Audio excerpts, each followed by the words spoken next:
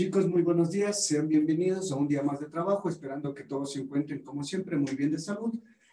Y como habíamos mencionado, siempre con una actitud positiva. Si es que usted tiene una actitud positiva, va a poder realizar cualquier tipo de actividad. Si es que usted no tiene una actitud positiva, pues téngalo por seguro, no lo va a poder hacer.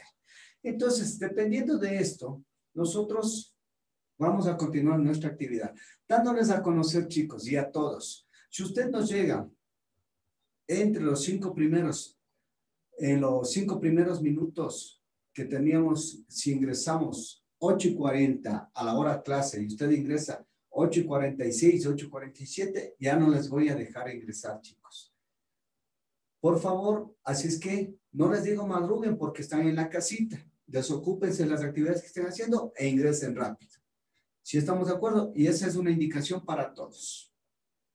Preguntas hasta ahí, muchachos.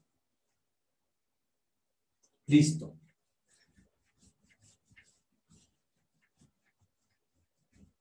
Muy bien. Por favor, eh, Camila Astudillo, ¿hasta qué ejercicio tenemos resuelto de nuestro libro? De la página 238. Tenemos hasta del ejercicio 1 hasta la C. Nada más. Nope. No hicimos el 2. Bien. No. ¿Qué Vamos a era, hacer el ejercicio número 2. Ejercicio número 2. ¿Qué nos dice, por favor, Felipe? Verán, no me dirán... Dicen, ¿me puede Ah. repetir la página, por favor? Ya, espérenme un, re- un ratito. Organicémonos todos. Todos van a tener el libro. Todos van a tener el libro. Muy bien, como estaban haciendo algunos estudiantes. Página 238. Página 238. ¿Si estamos? Ya, ejercicio número 2. Felipe, ¿me puedes ayudar, por favor, con la lectura del ejercicio número 2? Ok, eh, ordena en forma creciente y decreciente con relación a las potencias de t e indica el grado del polinomio. Verán que esto es sencillo. Únicamente, ¿qué nos pide, chicos? Ordenar, ya sea en forma ascendente o en forma descendente. ¿Qué significa esto? Si es que yo tengo, me dice en forma ascendente, dice muy bien. Entonces, ¿desde cuál voy a empezar? Desde, en este caso, desde el exponente 0, sería luego exponente 1, exponente 2, exponente 3, exponente 4. Si me dicen forma descendente, estaríamos haciendo qué? X4, X3, X2, X1, X0. Usted sabe que el X0 es 1, ¿no es cierto? Cuando una variable está elevado a un exponente 0, nos va a dar cuánto? Siempre nos va a dar 1. ¿Estamos de acuerdo, muchachos, hasta ahí? Esto sería ordenar. Y el grado aquí, ¿qué grado sería este? ¿Qué grado? Creciente. ¿No? Grado. Vean, miren, en este caso, observo el exponente mayor. ¿Cuál es el exponente mayor? 4. X de la Cuatro. Entonces, ¿qué grado sería? Grado 4. Muy bien. Entonces, en este caso, chicos, no se vayan a olvidar, por favor. Vamos a trabajar en estos. Vamos a copiar los ejercicios. Vamos a resolver cada uno de ellos. Bien, uno facilito. P, P, PT, o P sub T, perdón, de cero. ¿Qué grado tengo aquí? ¿Tengo alguna variable? No. No, No. ¿Grado? ¿Qué grado sería? cero. Cero. Listo. Terminado el ejercicio. Porque ya está ordenado, no puedo hacer nada más. Vamos a hacer el B. Yo voy a hacer uno, usted hace otro. Yo hago el B. Vamos a copiar el literal B. Copien por favor en el cuaderno literal B. Q sub T es igual T a la quinta más 2T más 3T cuadrado más 2 más 4t a la cuarta. Muy bien. En este caso, lo primero que observo, el exponente mayor. ¿Cómo quiero ordenar primero? Si es que es en forma ascendente o en forma descendente. Eso es lo primero que debo analizar. Voy a, a organizar en forma ascendente. Dicho esto, entonces recuerden, recuerden ustedes, primero iría qué? Primero iría la cantidad o el término independiente, que es el 2. Iría 2. Cuando usted observe esto, si es que está solo una cantidad independiente, aquí estaría T sub 0. Porque 2 por 1, ¿cuánto es? 2 por 1, 2. Entonces, por eso le ubico primero el término independiente. Segundo, iría x a la 1 o t a la 1. Busco aquí, iría qué? Más 2t. Ya tengo 0, 1. Luego busco 3. ¿Hay el 3? ¿Hay el exponente 3?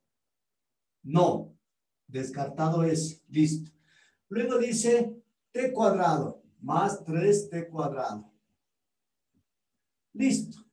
Luego, ¿qué sería? t a la cuarta. Eh, verán que voy en orden. Más 4t a la cuarta.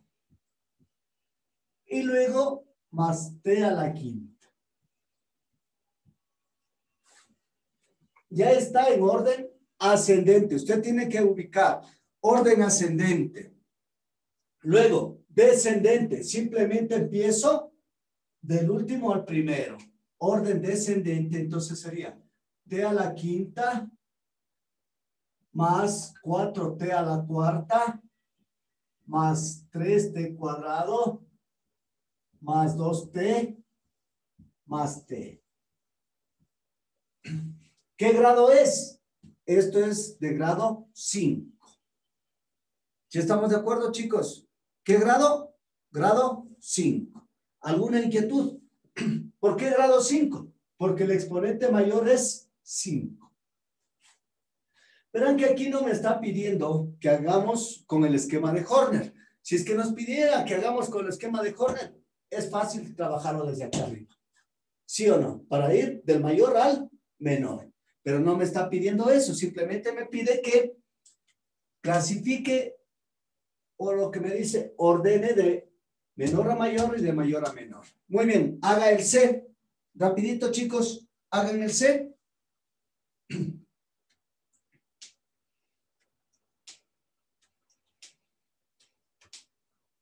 Rápido, muchachos.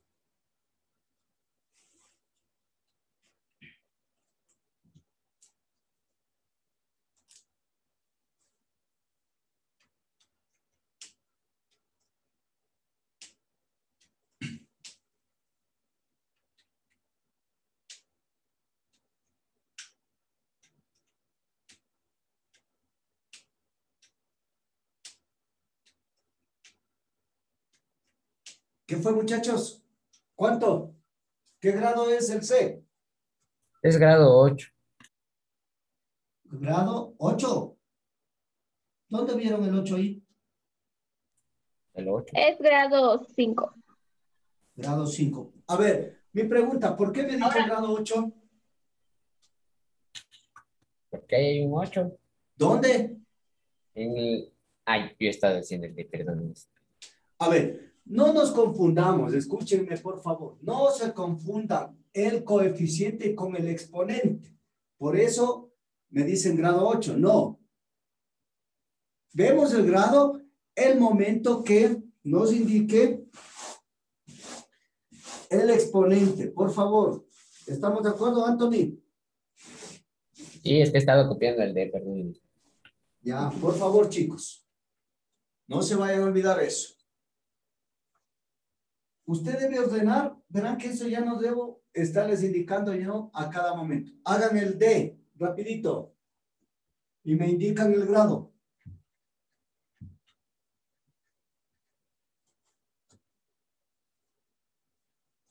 Rápido, muchachos.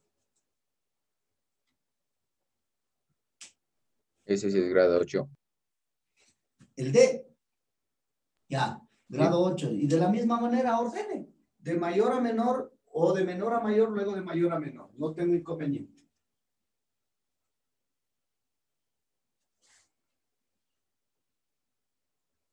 ¿Listo, muchachos?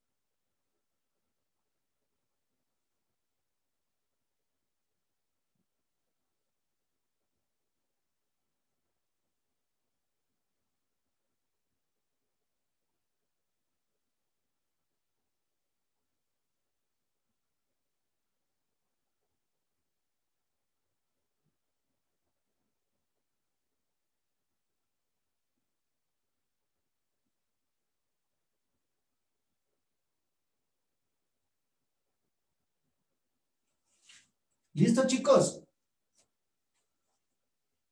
¿Ya?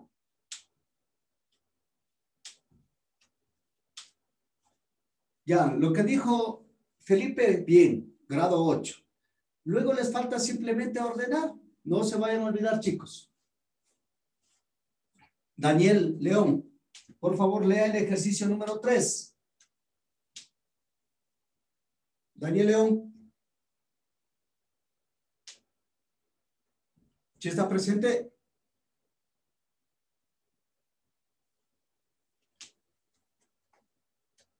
Ya. ¿No vale su micrófono?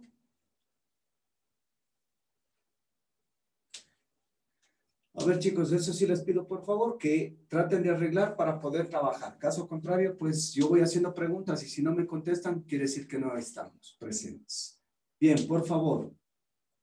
Señorita Morales, ¿qué dice el ejercicio número 3? Calcula P más B. Calcula P más Q de qué? De A. de A Ya. y PQ de A. Y P por Q de A. ¿Qué más? Para Todo A elemento de los naturales. ¿Qué significa elemento de los naturales? Que la A nunca va a ser negativa, ¿no es cierto? Los naturales, ustedes saben que siempre van a ser positivos. ¿Estamos de acuerdo, chicos? Naturales siempre positivos. Cuidado, me vaya a decir. La A, eh, perdón, la A va a ser eh, menos 5. No va a poder, no va a poder ser menos 5. ¿Cuáles son los elementos en este caso? P de X P de X es igual, ¿cuánto? 3 más 3 más 2X al cuadrado. Y Q de X va a ser igual a qué? 1 más 15X más X cuadrado. 1 más 15X más X al cuadrado. Aquí tampoco me dice que utilice el esquema de Horner. Aquí es sumamente fácil. Para todo A, igual a qué? El primero es 1. Entonces, lo primero que vamos a hacer aquí, chicos, atenderánme por favor. Lo primero que vamos a hacer, la primera operación que es P más A, de Q, de A. P más Q de A. Entonces, en este caso, simplemente sumo los dos polinomios. Vamos a hacer P más Q de A es igual a qué? Sumamos. 3 más 2x cuadrado más 1 más 15x más x cuadrado. ¿Y esto a es igual? Sumamos 3 más 15x, perdón, 4.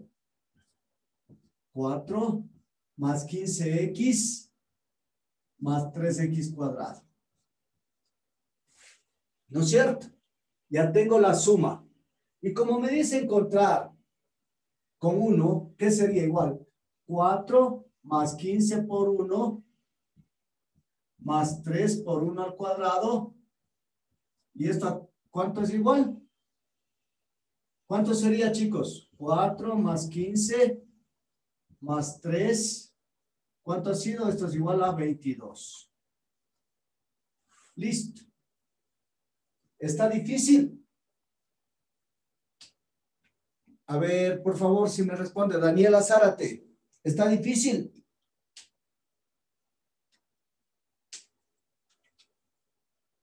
Daniela.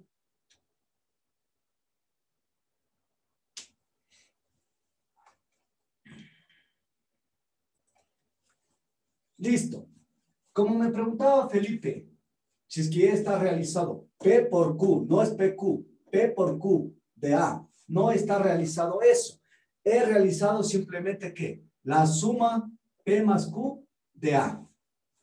Bien, en este caso, en este caso, vamos a hacer la multiplicación para poder realizar la otra parte.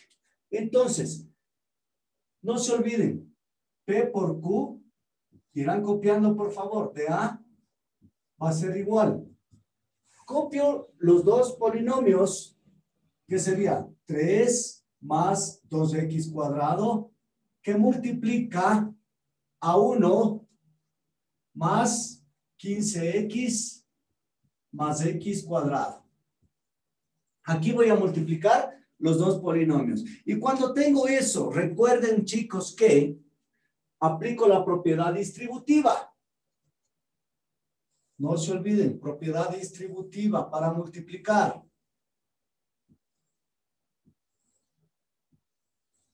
Ahí estoy aplicando la propiedad distributiva. Copiarán, por favor. Dicen, sí. Dice Manfred Pazmiño que le, si le puede dejar entrar que se le ha apagado la computadora, por favor. Lo mismo decirle el señor Vargas. Señor Sevilla, ¿ya se comunicó con usted señor Vargas? ¿No? Bueno. Muy bien, multiplico. 3 por 1, 3. Luego, sigo el otro caminito. 3 por 5, 15. X. Luego, más Dicen, es 3 por 15. Perdón, 45. Sí. Muy bien, 45. ¿No es cierto? Luego, voy a multiplicar el otro. Más 2 por 1, 2. X cuadrado. Más 2 por 15, 30X. Más 2x a la cuarta.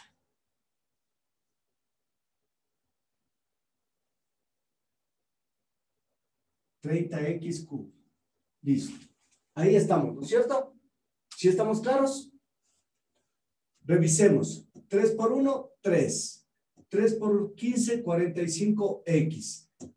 3x cuadrado. Luego vamos con el otro. 2 por 1, 2x cuadrado.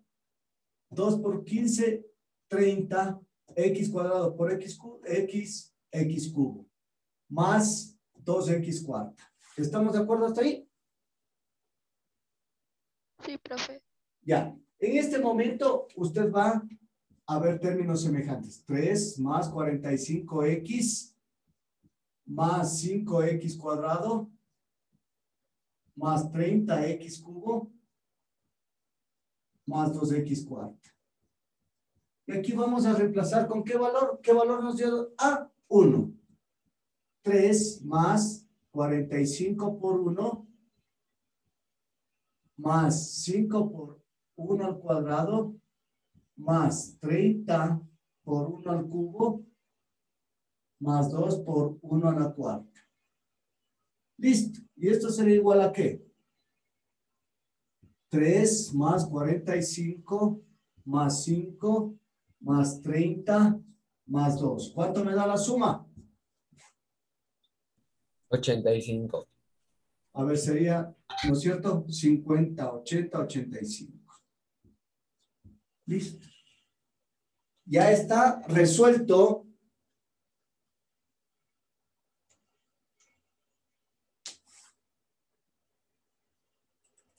Ya está resuelto, en este caso, lo que es P más Q de A y abajo P por Q de A. ¿Estamos de acuerdo, chicos? Por favor, van a hacer ustedes el literal C. Van a hacer el literal C, rapidito, de la misma manera. Literal C. Rapidito, chicos.